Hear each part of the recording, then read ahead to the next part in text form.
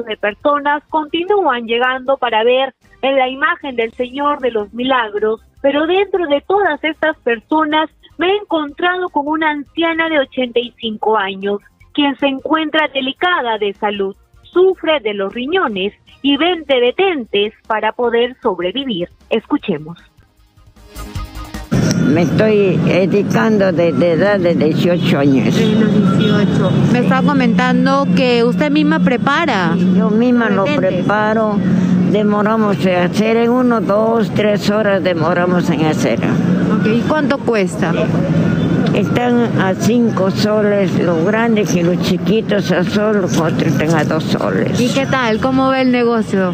Más o menos, Más o señorita. menos, no como los otros años que había bastante gente. años que se vendía puntualmente, ahora no, ahora es menos ya. Ahora usted tiene 85 años y sigue y seguirá vendiendo detentes. Sí, sigo vendiendo detentes, haciéndolo, lo preparo yo misma y de acá ya me voy a ir a preparar porque ya no tengo, solo es que no mantengo.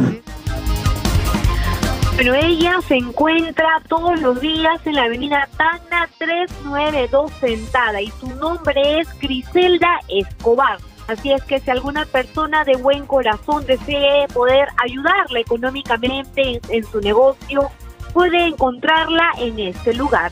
Informó Stephanie Echegaray, exitosa, pero en Lima 95.5 de la FM.